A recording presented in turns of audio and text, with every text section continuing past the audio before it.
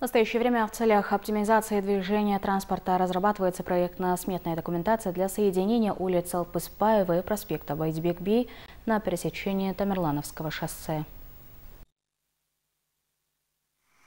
После реализации проекта на данном перекрестке будет налажено движение транспорта, что позволит авто двигаться в прямом направлении, то есть появится полноценный перекресток. Аким города Габит Сыздакбеков совместно с руководителями отрасли специально посетил объект и доработал проект в связи с тем, что пересечение улиц Алпспаева и Бейтбик-Би на Тимирландском шоссе несимметрично. На данной территории возникают неудобства для движения транспорта. Учитывая это, Габит Абдымажитович поручил руководителю соответствующего управления в кратчайшие сроки завершить проектные работы и начать строительство.